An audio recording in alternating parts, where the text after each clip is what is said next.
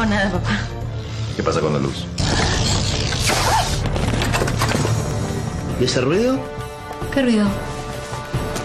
¿Escucharon eso? Alma. Poli. ¿Qué pasó? No sé, está inconsciente, no sé si se golpeó la cabeza o qué. No. No hay que buscar otra manera para separar el alma de Leo. No hay otra manera. No hay otra manera. Sí. Sí que hay otra manera. Sí, hay, hay, hay que ser paciente, hay que ser inteligente y hay que esperar el momento justo para poder atacar. A ver, ¿cuánto tiempo vas a seguir esperando? ¿Vas a seguir sufriendo con cada beso, con cada caricia que se? Leo es tuyo y nadie te lo va a quitar. Y le voy a hacer la vida imposible. No la voy a dejar ser feliz. La voy a acechar todo el tiempo, la voy a acechar. Eso es peor que la muerte, ¿no? La voy a acechar todo el tiempo hasta que por fin lo deje a Leo para siempre. Nunca, nunca lo va a dejar. ¿No te das cuenta? Ay, qué cobarde, qué cobarde que sos, Juana. ¿Qué haces? Estoy hablando. ¿Qué haces? No te vas a poder librar de mí muy fácilmente. Estoy en tu cabeza, nena. No me vas a poder tapar con rouge, nena. No me vas a tapar. Nena. Nena. Permiso, señor. ¿Qué pasa? Eh, acá traje lo que me pidió. ¿Lo hago pasar? Sí, no perdamos tiempo. ¿eh?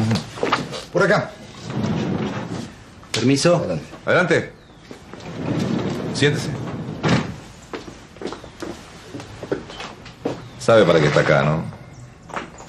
Sí, él me dijo que andaba necesitando un dato y que me iba a pagar buena plata. Sí, ¿verdad?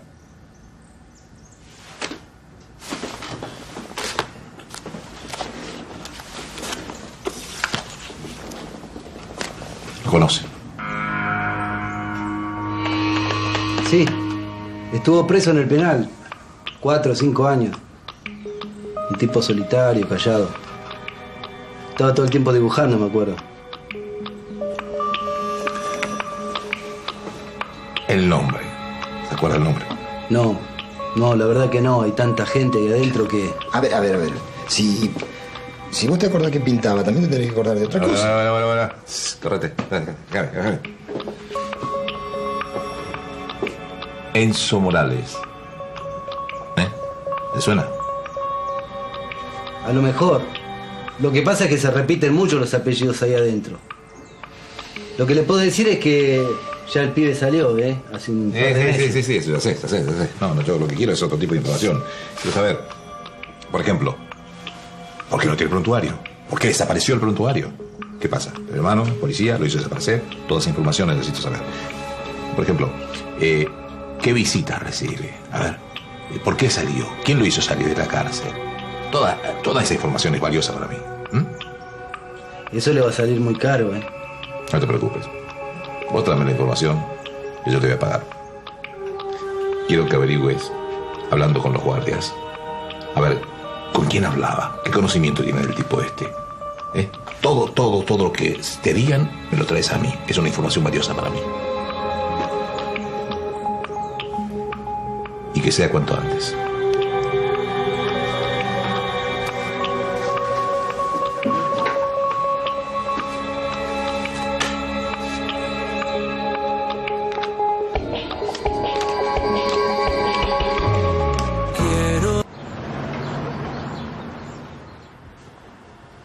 No lo puedo creer. ¿Qué no podés creer? No puedo creer que la persona que me contrató para trabajar en su casa, que siempre fue tan bueno con mi mamá y conmigo, sea la misma persona que... sea un asesino, Leo. Sí. Es un asesino. Pero siempre fue así, ¿eh? Él es bueno solamente con tu mamá y con vos, como dijiste vos, pero toda su vida fue un hijo de puta, Laureano. Y a lo mejor el padre de Mona fue su primer víctima. O sea que el campo en el que nosotros jugábamos cuando éramos chicos a lo mejor era el lugar en el que él planeaba sus crímenes. Y mi vieja se fue a México por eso. Sí. Y la mía, que no sabe que estuve enamorada toda su vida de, de un hombre que es un asesino, ¿Cómo alguien puede matar a su propio suegro? Por ambición, por codicia. Yo siempre lo vi como un hombre tan generoso, tan. tan bueno. Y tenía dos caras, yo no sabía nada. No, tiene una. Tiene una sola cara, es un hijo de puta. Lo que pasa es que vos antes no te dabas cuenta. ¿Cómo está tu madre? Y hace lo que puede, está muy triste. Ella era muy apegada a mi nona, era lo único que le quedaba. Te tiene a vos. Sí, bueno, pero usted me entiende. Josefa era una gran mujer, de las que casi ya no quedan. Decime, ¿en qué te puedo ayudar? Vengo a pedirle otro favor. Contame. Bueno, la última voluntad de mi nona fue que la cremáramos, que esparciéramos sus cenizas en la tierra donde pasó casi toda su vida. En su campo, señor. Esas tierras también significan mucho para mí. Pasé allí la mayor parte de mi vida. Y bueno, quería pedirle permiso No se hable más. Puedes contar con ese permiso. Sírvase, señor Laureano. Lo estaba buscando. Tinto, ¿no? Sí, muchas gracias, querida. Muchas gracias. No, gracias a usted. La verdad que...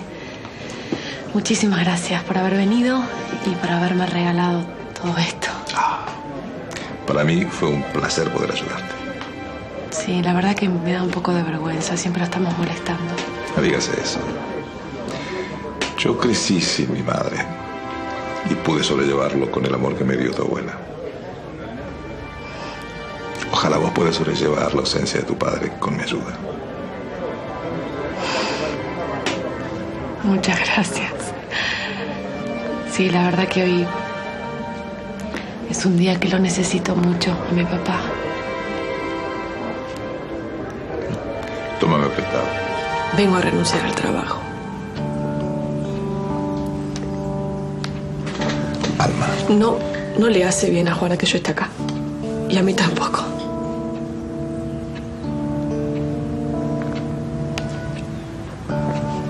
Oh, bueno, si lo pensaste así, está bien. Lo entiendo, lo entiendo. No puedo retenerte. Yo le quiero agradecer todo lo que hizo por mí y estar eternamente agradecida. Y quiero que sepa que la plata que me prestó del adelanto, yo se la voy a No, devolver. no, no, no es necesario. Sí, como pueda, de a poco, pero se No la es voy a ir devolviendo. necesario, Alma, Alma. Te vas a quedar sin trabajo, no te puedo retener. Deja que te perdone la deuda. Usted es tan bueno conmigo. Muchísimas gracias. Está bien. Bueno, no lo, no lo molesto más. No, lo- no quiero interrumpir su trabajo. Venía a eso solamente. Está bien, dama. Permiso. Alma.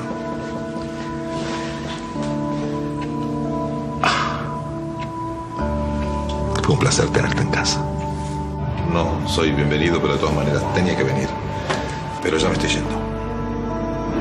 Mi mamá sabe que, que está acá, que vino. Sí, me vio unos segundos durante la ceremonia. Para eso vino. Para que ella lo vea. Alma, entiendo que no comprendas los motivos que tengo para estar acá. Pero te aseguro que yo no vine a arruinar la fiesta a nadie. No. ¿No? Vos sabés el afecto que yo siento por tu madre. Y yo no podía estar ausente en un día tan importante para ella. Alma, yo no tengo palabras para agradecerte. eh, que la recibas acá en tu casa. Y... Además quería pedirte disculpas por todo lo que te hizo Juana. Yo también me siento responsable de tu sufrimiento. Está bien, Juana está enferma y no sabe lo que hace. Y usted es su papá. Sí, pero te pido por favor que me perdones. Por favor, perdona. No se ponga así, no.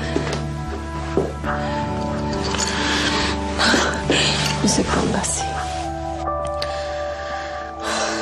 Qué triste. ¿Qué cosa que pensás? En Isabel. Que para tener un padre así prefiero no tener ninguno. Yo tendría que hablar con ella, mi amiga. Tendría que decirle, Nada. No. No. Nada. Se está dando cuenta sola del tipo de padre que tiene. No te puedes meter alma. O sea, uno no puede dar una noticia semejante sin lastimar a alguien por más amistad que haya en el medio. No puedes.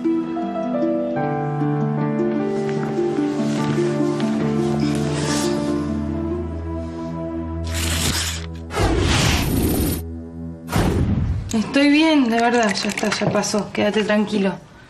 ¿Vos qué hacías? No te creo, no te creo que me extrañas.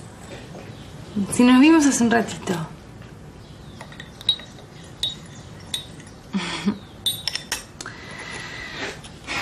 Ya lo sé. No sabes la falta que me haces. Hmm. Y eso me hace muy feliz, ¿sabes?